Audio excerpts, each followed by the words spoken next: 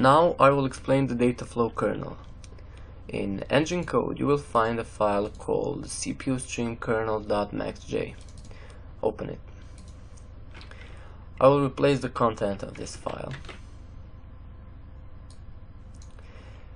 Here you can see a Java class that extends the kernel class imported from the kernel package.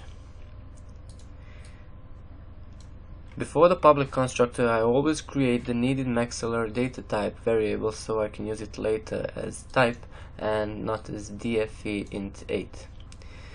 dfe int 8 is a Maxeler data type variable that represents a 1 byte integer. I've chosen that type because I want my variables to simulate chars. This is the public constructor that accepts one parameter. This parameter has to be passed to superconstructor if we want the kernel to function correctly.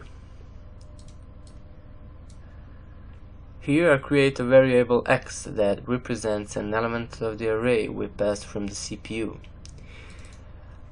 IO is a global variable that provides classes and methods for creating and accessing input and output streams to the kernel.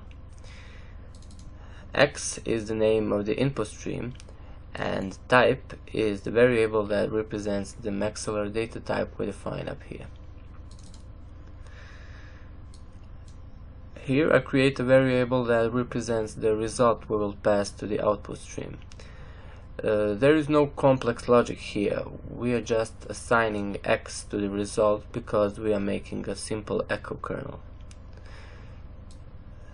At last we pass the variable result to the output stream called z.